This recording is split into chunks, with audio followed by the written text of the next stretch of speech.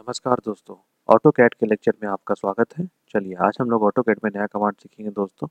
File को open कर लेते हैं।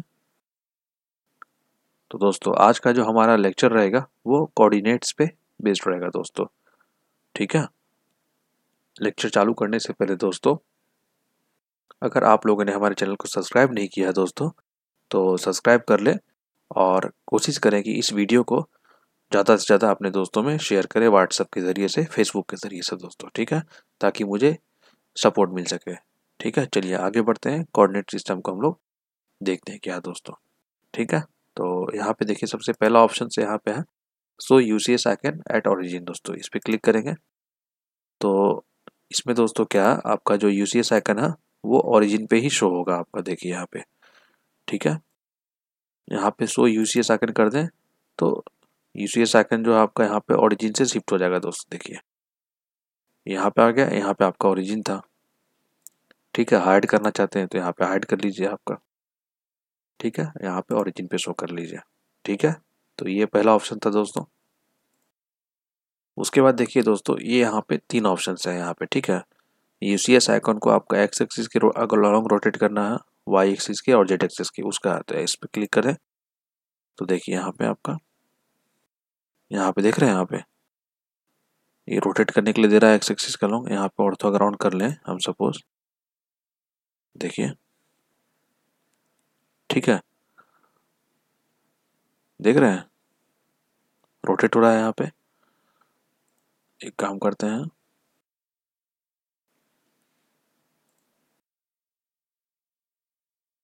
उसी तरह मेरा यहाँ पे वाई का, देखिए। वाई एक्सिस के लॉन्ग रोटेट हो रहा है यहाँ पे, देख रहे हैं? उसी तरह यहाँ पे मेरा है जेड एक्सिस के लॉन्ग तो आप अपनी ज़रूरत के अनुसार जो है दोस्तों, यहाँ पर रोटेट कर सकते हैं। बस ये चीज़ ध्यान रखना दोस्तों। मेरा एक्स वाई प्लेन में ही हमेशा आपका ड्राइंग को आप ड्रॉ कर सकते हैं और जेड जो एक्सिस है मेरा, उसके लॉन्ग हमेशा वो उस ड्राइंग को एक्सट्रूड करेगा दोस्तों। ठीक है? स्केप करते हैं। चलिए, यहाँ पे ऑप्शन है मेरा दोस्तों। ये है करंट व्यू को आपको एक्स वाई में बदलने के लिए दोस्तों, ठीक है? अब सपोज़ हम टॉप व्यू लेते हैं यहाँ पे, ठीक है? और यहाँ पे एक बॉक्स को बनाते हैं सपोज़ और एक सूट हम सपोज़ यहाँ पे दे दिए। एक मिनट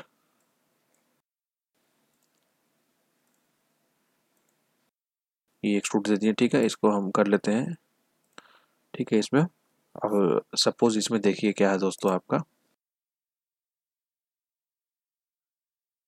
ये वाला मेरा व्यू है, कुछ भी कस्टम व्यू नहीं है, ठीक है, इसको आप यहाँ से सेलेक्ट कीजिए। तो ये अभी मेरा प्लेन हो गया, ये वाला, ठीक है, अब इसमें आप ड्रॉ कीजिए सपोज़ सर्किल इसको एक्सक्लूड कर लीजिए।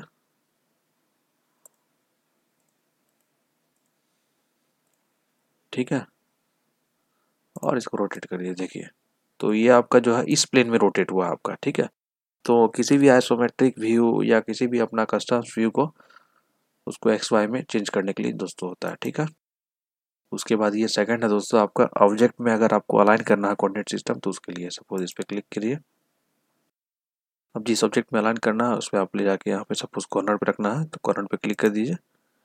तो आपका ये कोऑर्डिनेट सिस्टम हो गया दोस्तों, ठीक है? और एक्स वाई प्लेन उसके अकॉर्डिंग आपका ये यहाँ पे लग गया आपका।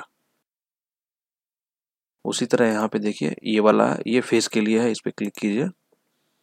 आप यहाँ फेस पे प्लेस कर दीजिए, ठीक है? अब यहाँ पे फ्लिप करना है एक्स या वाई ठीक है? उसके लिए है आपका वाई फ्लिप कर दीजिए। मतलब आपको पॉजिटिव साइड कौन सा रखना है, उसके लिए है आपका दोस्तों, ठीक है? एक्सेप्ट कर लीजिए। ये आपका हो गया, ठीक है? चलिए, और ये आता है मेरा प्रॉपर्टीज़ ठीक है? इस पर क्लिक करते हैं।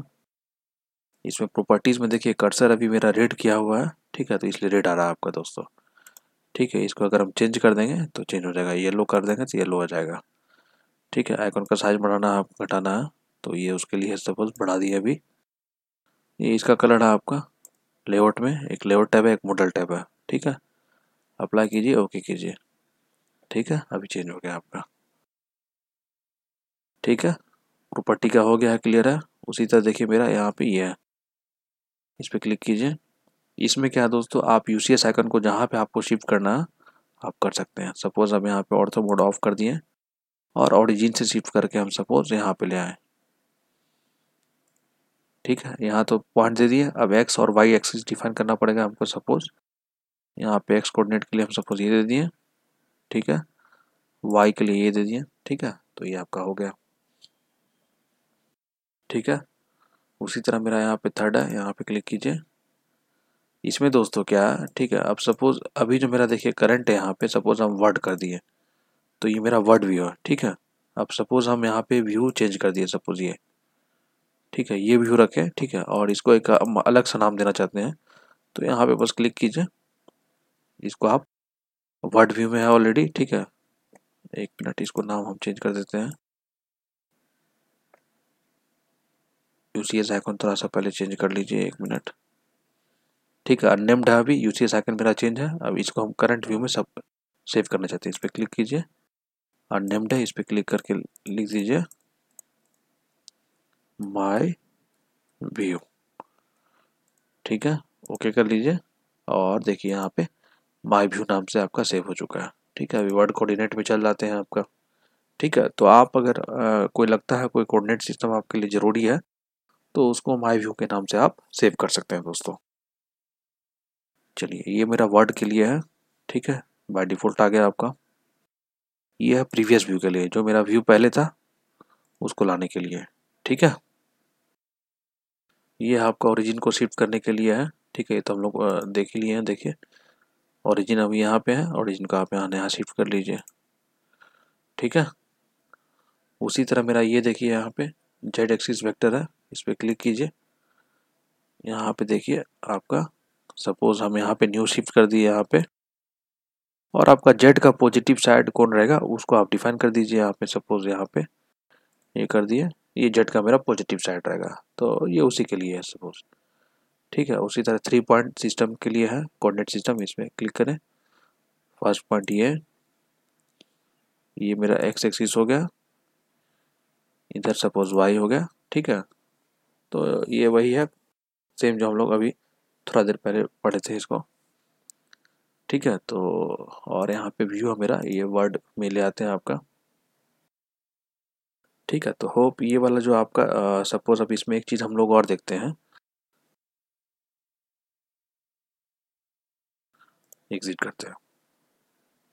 अब सपोज़ ये कोऑर्डिनेट सिस्टम है, इसको हमको शिफ्ट करना है, ठीक है? तो इसको क्लिक करते हैं। इसको सपोज़ यहाँ पे हम शिफ्ट करते हैं। ठीक है एक्स हम लोग जेड तो इधर दे दिए आपका, ठीक है? और एक्स वाई हम सपोज़ यहाँ पे रखते हैं फोर्टी फाइव डिग्री पे। इसको टैब करके फोर्टी फाइव डिग्री कर देते हैं।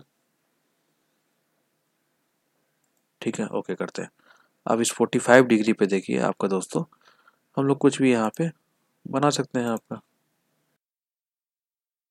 इसको एक्सट्रूड कीजिए।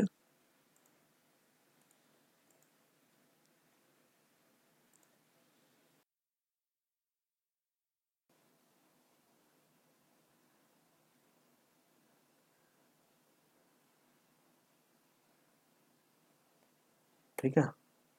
तो इसमें एक्चुअली है क्या दोस्तों कि आपका जब भी किसी पर्टिकुलर फेस पे या किसी भी एंगल पे आपको 45 डिग्री पे ही बनाना है सपोज़ ठीक है? तो उस केस में आप एक्सिस को रोटेट कर सकते हैं या कोऑर्डिनेट सिस्टम को आप चेंज कर सकते हैं, ठीक है? तो होप ये वाला जो कॉन्सेप्ट है आपका दोस्तों वर्ड वाला, ये आपको क्लियर हो गया होगा, ठीक है? तो दोस्तों आज के लिए इतना ही। अब हम लोग नेक्स्ट सेक्शन में मिलेंगे दोस्तों। ठीक है? धन्यवाद।